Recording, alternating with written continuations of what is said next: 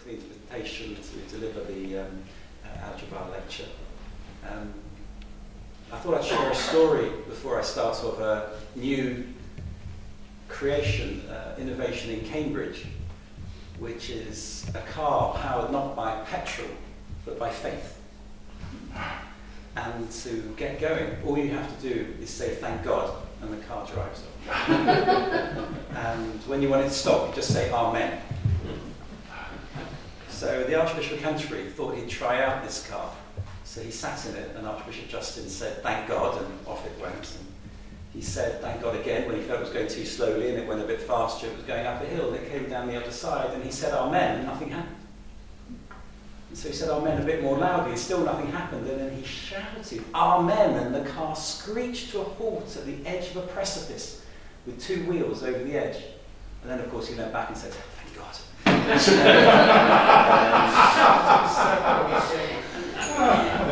Anyway, you, you, you, can, you, can, you can put any religious leader you want to uh, uh, at, the, at the car. So, no, it's a great pleasure to be here. And, and, um, um, and this is a subject very close to my heart, I'm sure to all of us, the place of religion and belief and faith in international relations and foreign affairs. Now, in 1999, an American sociologist called Peter, oops, wrong button, there we go, Peter Berger, noted, and there you have the quotation, the world is as furiously religious as it ever was, and in some places more so than ever. And he called that process desecularization. In the same year, The Economist in its Millennium issue, published in December of 1999, published the Obituary of God. And in the article, the title was God, after a lengthy career, the Almighty recently passed into history, or did he? The reader was informed that the test will come on Judgment Day when man, we are told, will meet his Maker, or will it be God meeting his? So just 17 or so years ago, the Economist was predicting the end of religion and the end of God, the obituary of God, how the world has changed. With 2020 hindsight, it's clear that Berger's words were more prescient than those of The Economist, who, to be fair, published a book in 2007 called God is Back. The question I want us to consider tonight is to what extent have we absorbed the implications that in most parts of the world, the most powerful actors are religious. The 2012 Pew survey, and I do recommend the Pew Foundation in the States for uh, surveys of the changing landscape, the Pew survey stated that 85% of the world's population identify themselves as belonging to a specific religion. And even in this country, which we regard as a secular country, according to the 2011 census, 75% identified with a religion. As well. So 85% of the world. Now, what I'd like to explore are the implications of the fact that the religious landscape is changing. And that there is religious diversity, not just in the West, in this country, in Europe, but actually around the world. And I'd like to explore with you how religion interacts at local, national, and international levels and is key to, foster, key to fostering both a flourishing and rich society, but also, let's be honest, contributes to instability and violence and conflict. In other words, religion and society are engaged in a two-way relationship, both for good and for ill, one being shaped by the other, and of course, vice versa.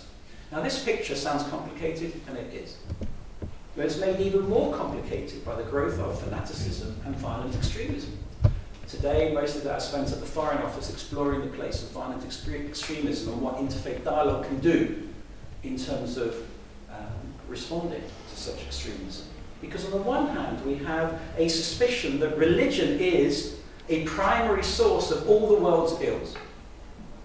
A blanket denial of legitimacy on the one hand, you have this religion blamed for all the world's ills, and on the other hand, a blanket denial of legitimacy of non religious approaches to life.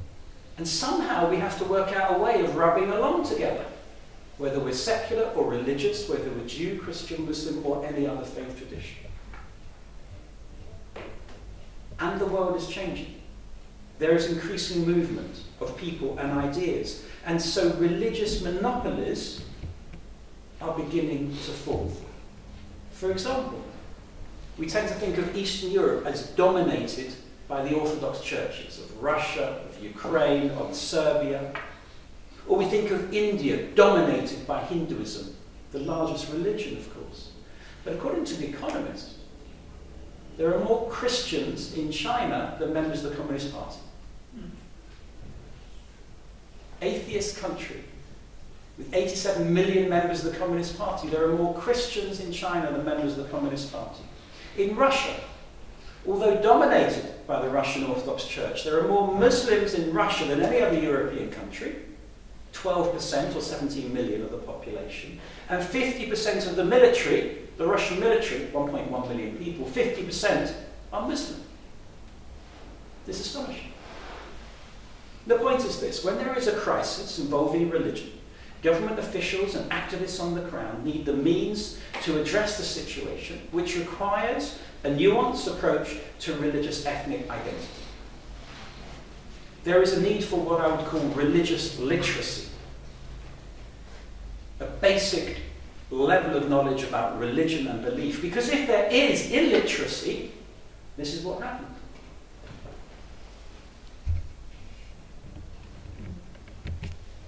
The Harvard Divinity School Pluralism Project, or Religious Literacy Project, has proved beyond any shadow of a doubt that illiteracy fuels conflict. Now, the need to improve religious literacy is reinforced by the fact that those who identify themselves as religious don't exist within religious communities, they live in the real world.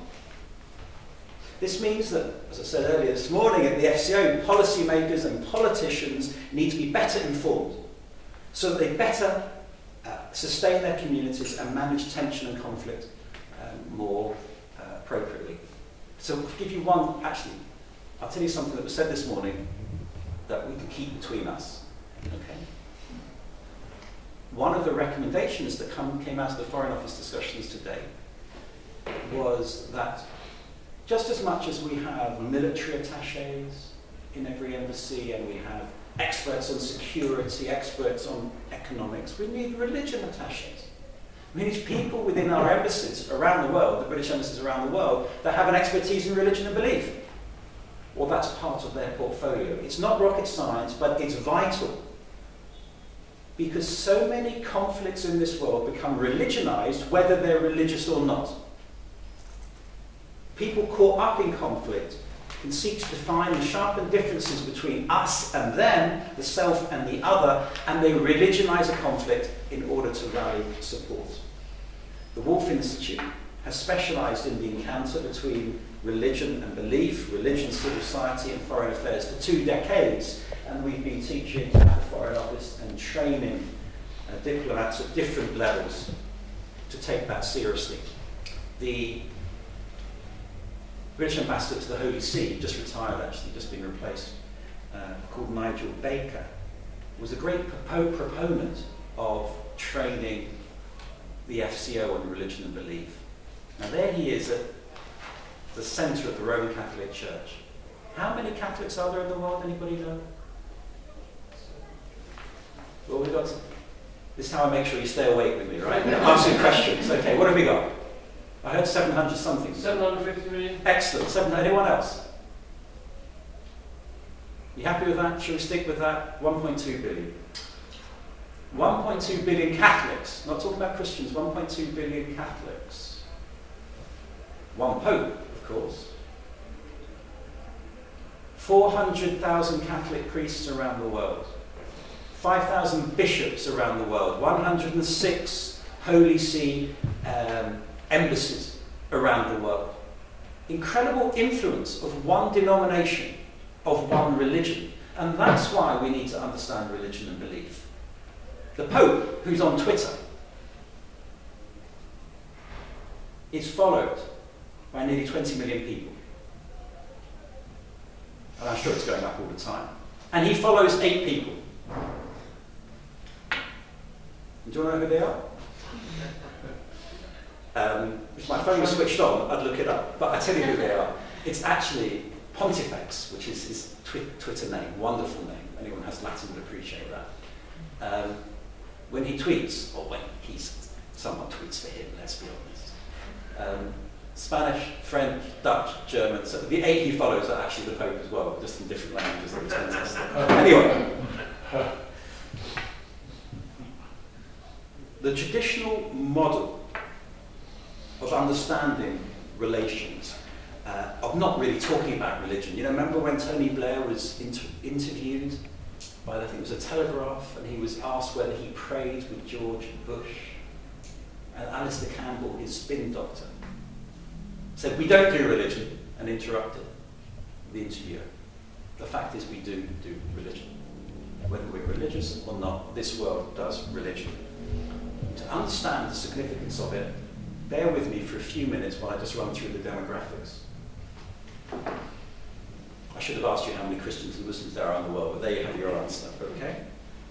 Two largest religions of the world, Christianity and Islam, 2.2 billion and 1.6 billion, are growing dramatically. Dramatically, especially in what's called the global south. According to a 2013 report by the Centre for the Study of Global Christianity, the proportion of Christians located in Africa, Asia, and Latin America, known as the Global South, will increase from 41%, as it was in 1970, to 65% in just two, in 2020. So the growth of Christianity comes from the Global South. In Europe and North America, Christianity is declining as a percentage of the population. Christianity will grow to 2.7 billion by 2030, and the growth comes from that group, evangelicals and Pentecostals. The face of Christianity is changing. The traditional face of Christianity, the established churches, Church of England, mainstream churches, Roman Catholic Church, um, is, uh, the free churches, is being replaced by the growth of evangelism and Pentecostal Christianity, which will grow to 700 million, second in size to Catholics. Uh, that is an increase of tenfold since 1970. So, okay, there's Christianity. As much as we need to reflect on Christianity, of course, we need to think about the implications of the growth of Islam. The world's Muslim population is increasing even faster than the Christian population, from 1.6 billion, as I showed you, to 2.2 billion in 2030 when Muslims will make up 26.5% of the world's projected population of 8.3 billion. The largest Muslim country in the world today is? Indonesia. Excellent. Followed by? Pakistan. Excellent. You're on a roll. Followed by? Uh, Bangladesh. Oh, India. India, thank you. then Bangladesh, and then Egypt. Yes? We tend to think Islam just Arab, right? No, the largest Muslim country in the world is thousands of miles away from the birthplace of Islam. Egypt is the largest Arab. Oh, sorry. Uh, was that up there? Did I already have my gave it away?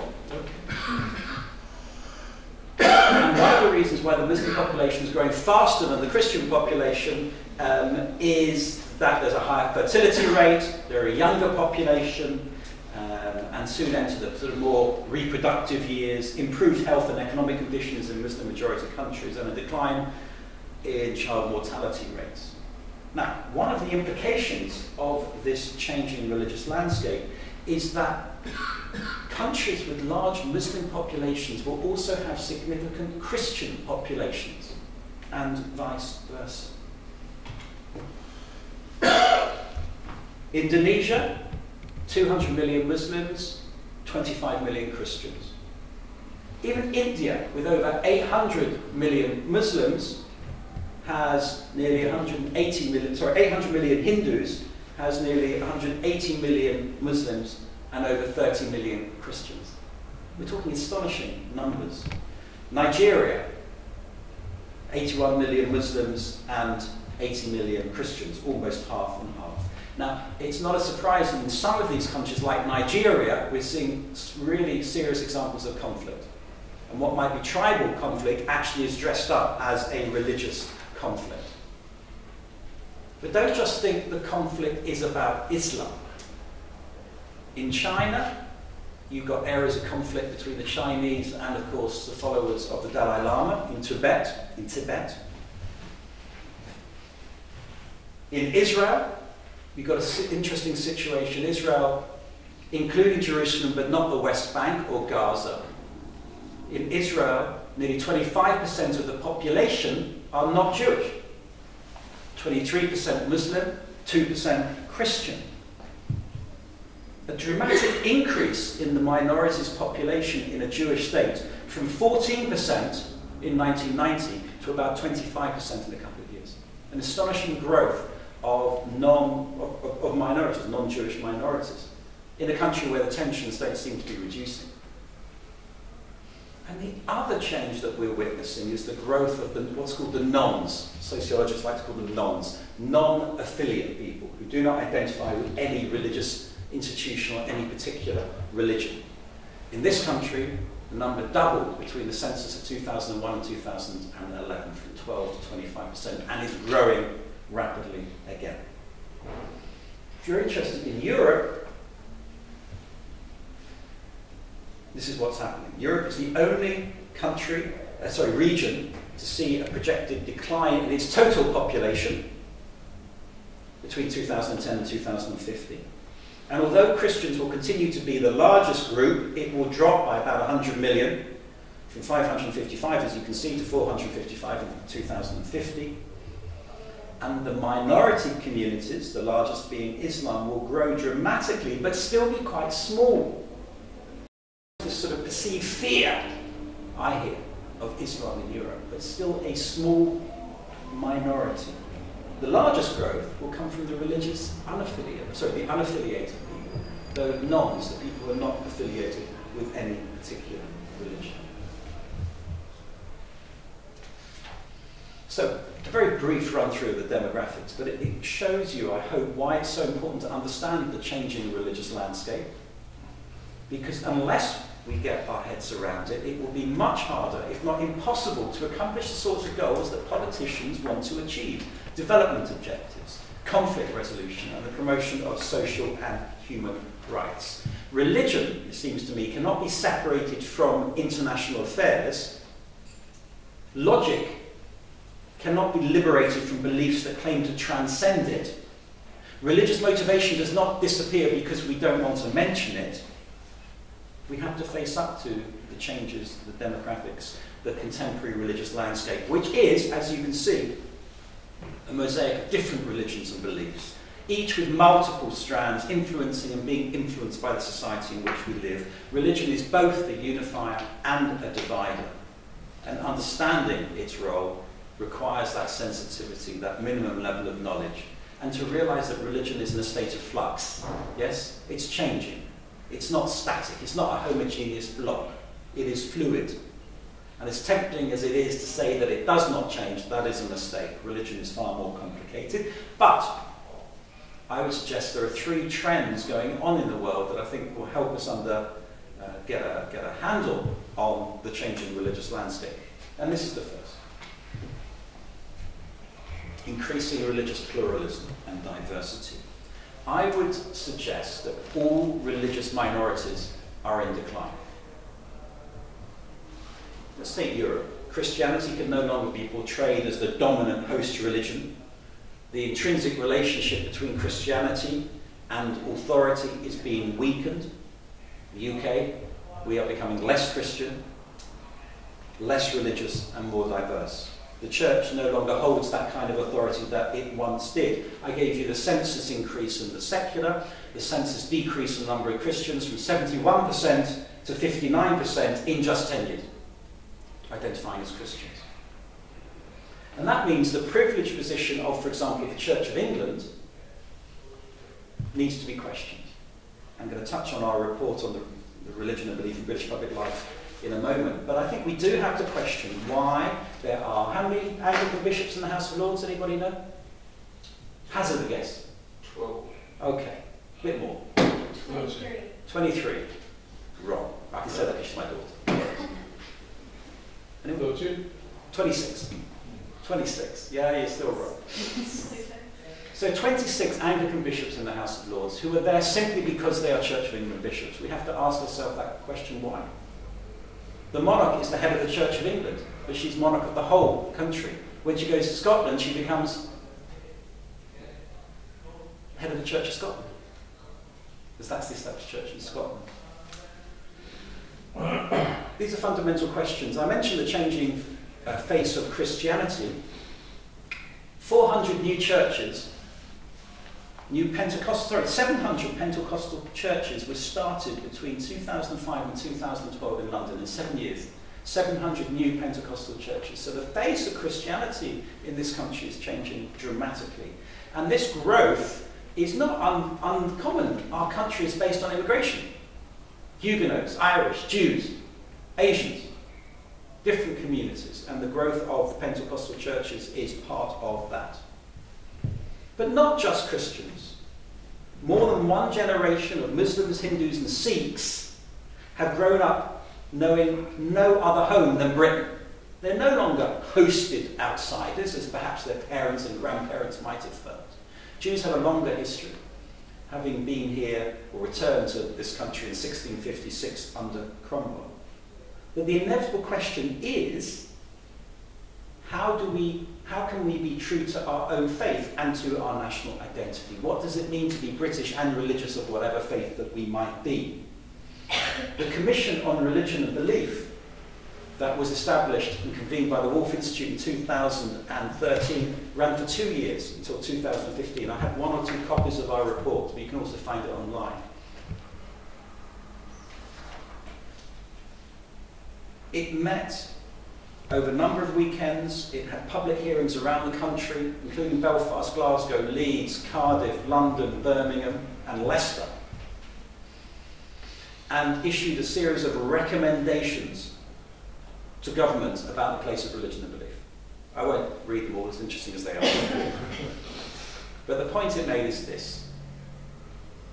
We are a different society than we were in 1950 when the only major non-Christian minority were Jews, who numbered 1 in 150, but now Jews are fourth after Muslims, Hindus and Sikhs in terms of non-Christian minorities.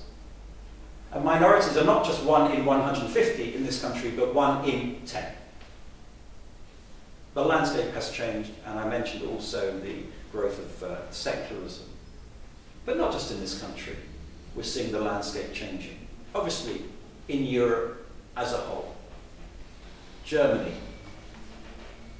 The opening of the doors in Germany in 2015 by the German government to more than one million, mainly Muslim migrants or refugees, will change the face, of course, of Germany. And what is the government of Germany doing? They're investing very heavily in Islamic studies in universities, providing the Muslim community and German Muslims to integrate more easily and to understand what it means to be German and Muslim. The opening up of new spaces for political engagement through civil society. The use of Germans who were born Muslim in Germany to help Muslims who are coming into Germany to integrate better and understand what German values and customs and practices actually mean.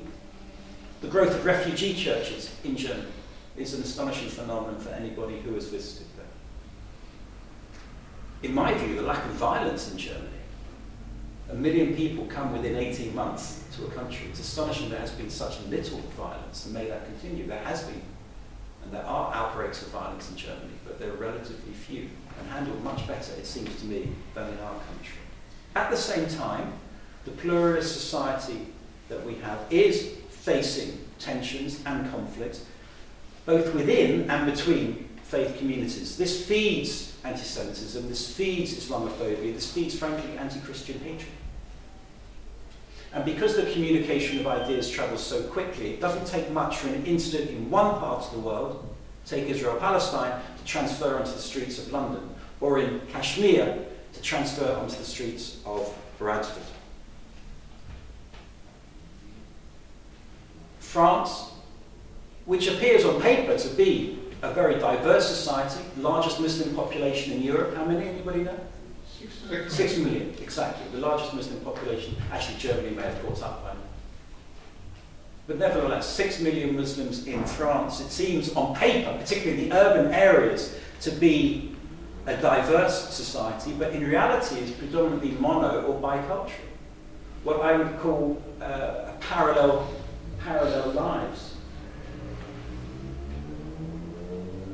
groups don't meet each other. French, mainly North African Arabs, mainly Muslim, are not meeting other French communities because they live in a different place. And this sense of separation has only increased since the Paris attacks in January and November 2015, where the government have implemented measures towards a much more authoritarian governance and differentiation among, along religious ethnic lines. And in these circumstances, it's relatively easy for extremists of whatever persuasion to develop myths and misinformation and stir up race and religious hatred. But before you think that this diversity that I'm talking about, this pluralism, is limited to the global north, let me identify one or two other areas that may surprise you where I would suggest there is a growth of pluralism. Qatar. Some of you might have been to Qatar. 250,000 Qatari citizens, all Muslim of course, Arab, living in a country of two and a half million, mainly expatriates, working in services and other sectors to support that society. There are more Christians in Qatar than Qataris. And not only Christians, but there are Hindus and Buddhists, non Abrahamic people working in Qatar.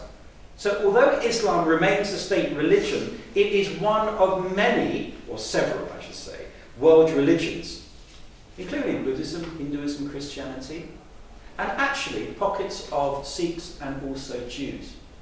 And that's not unique to Qatar. In other Gulf countries, UAE, Oman, Bahrain, Kuwait, have since the early 1970s been grappling with these same challenges. So I would suggest that there are actually a, a, a variety of pluralisms in these countries which we've always assumed to be homogeneous. So this religious landscape is complicated, and there needs to be a reconstruction of identity, which can take a benign, pious form or a radically extremist form. So that's the first theme I'd identify in the complicated religious landscape, and that is the growth of pluralism and the decline of religious monopolies. The second are growing tensions between the religion, citizenship, and the nation state. So, closely connected with pluralism is a growing tension between these factors. Now, before the rise of the nation state in the 19th century, Jews, Christians, and Muslims defined themselves in terms of their shared laws, customs, practices, beliefs, and if and when they had to move, they would take their laws, values, and beliefs with them. So it wasn't so much territory that defined their identity, but values and a way of life. And that role was often played by religion. Often these groups would move from one territory to another with different languages, but without losing any sense of belonging. The rise of the nation state changed that dramatically in the late 19th century. It privileged territorial identity and, generally speaking, one language. Now, a characteristic of the contemporary religious landscape is that there are multiple forms of identity ethnic, cultural, religious. What scholars call hybrid identities. And this is in conflict with the growth of a sort of increased nationalism and religious ethnic nationalism in some parts of Europe. For example, the example the growth of the, the Catalan Basque movement for independence in Spain or the Iberian Peninsula.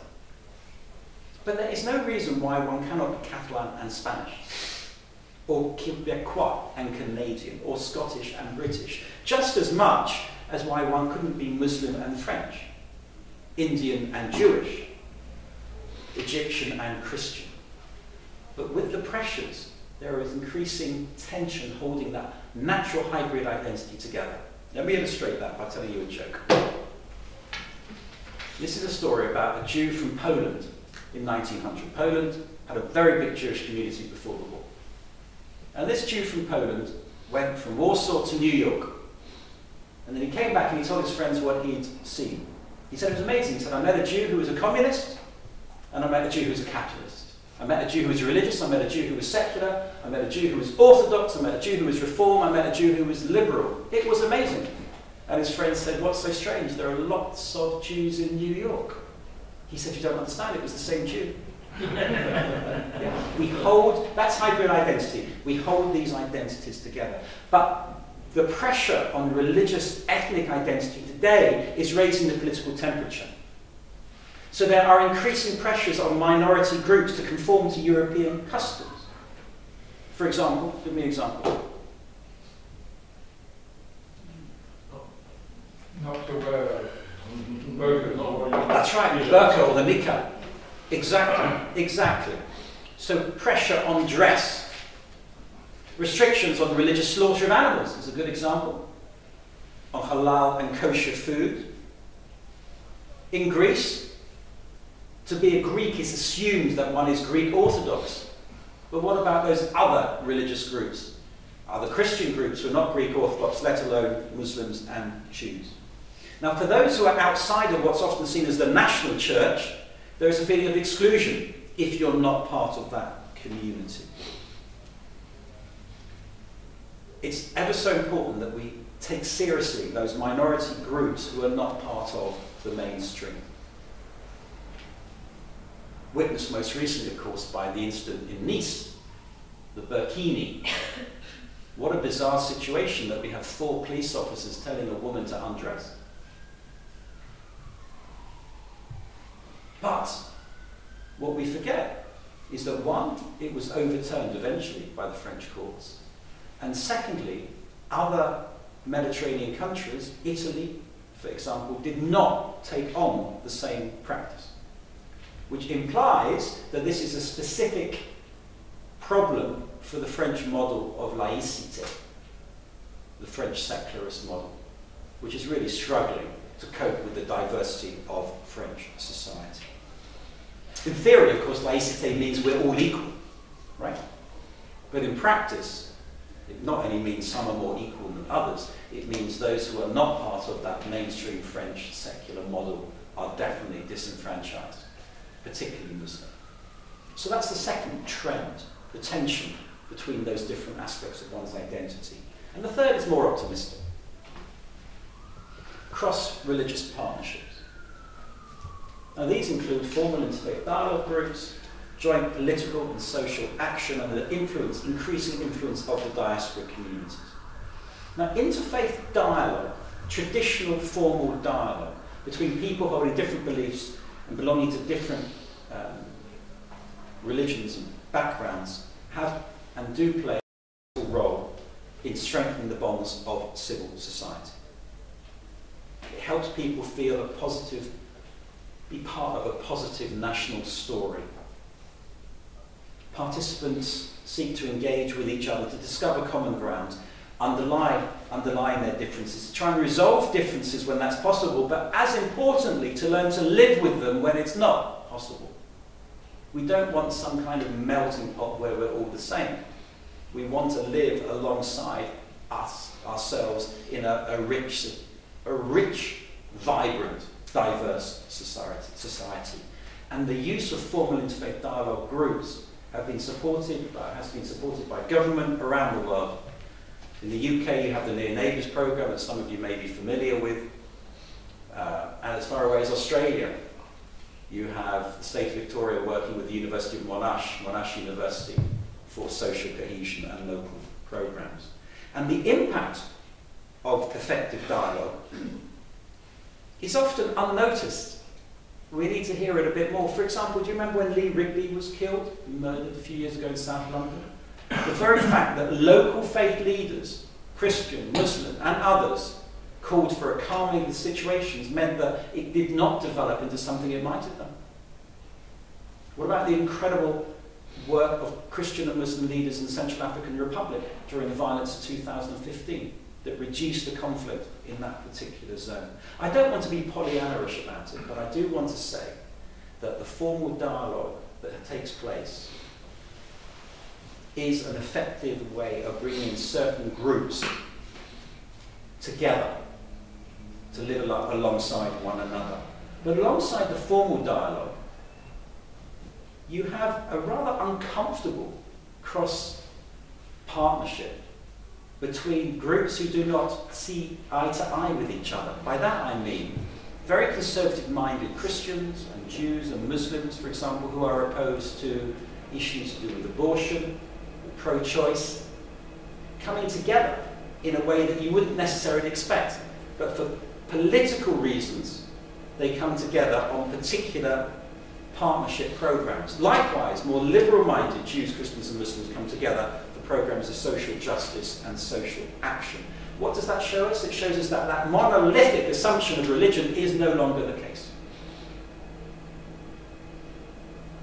Another example of cross religious cooperation is humanitarian aid. In 2009, there was a conference in Cambridge called Keeping Faith in Development. I like the title Keeping Faith, you know where it comes from. And what it showed, it was Christian aid, World Jewish Relief, and Islamic Relief coming together to talk about how they would deliver aid in countries of a different religion. So it's Christian aid, delivering aid in a Muslim country, World Jewish Relief, delivering aid in Pakistan, and Islamic Relief, delivering aid in South Sudan, predominantly a Christian society. And what it showed was that because they speak the same language, the language of faith, even they are a different faith, but there's a common language of faith, they were able to deliver aid more effectively than the secular organizations. They were trusted more. And it took the government a few years to realize that they were better off working with faith based humanitarian aid organizations. Not over and against secular organizations, but alongside secular organizations.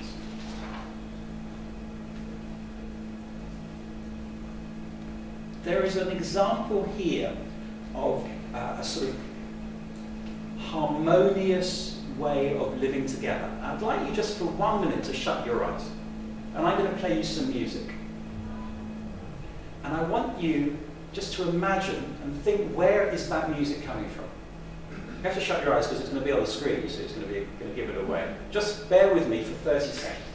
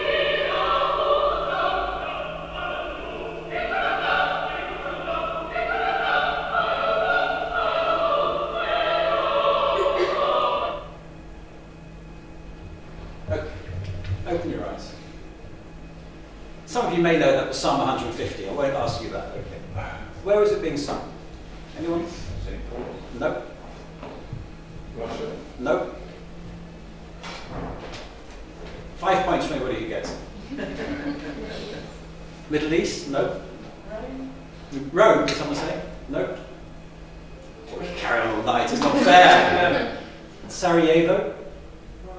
Straight after the war, a multi religious choir set up by a Catholic priest.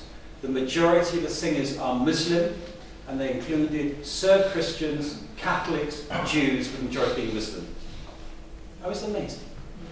In, in something so simple as music, bringing people together in a conflict situation, a terrible conflict. The worst conflict in Europe and massacres since the Second World War but through the energy of one priest and the support of other faith communities, with all the suspicion, they've created this, choir. This choir. It's very, very encouraging. The last item I wanted to mention in terms of the uh, cross religious partnerships is the increasing role of diaspora communities. See, changing, the changing religious landscape is inherently entwined with globalization which is facilitating not just the movement of ideas and concepts that we see through the media and social media and so on, but actually through cheap travel. We've all suffered, I mean, benefited from Ryanair and EasyJet to travel very easily from one place to another. And what that means is that the local is truly global, or the global is truly local. And diaspora communities are becoming even more significant as non state actors. Now, negatively, this means that a residual conflict, arbitrary boundaries, ethnic and tribal differences can quickly resurface in another part of the world. I mentioned Kashmir and Bradford as an example.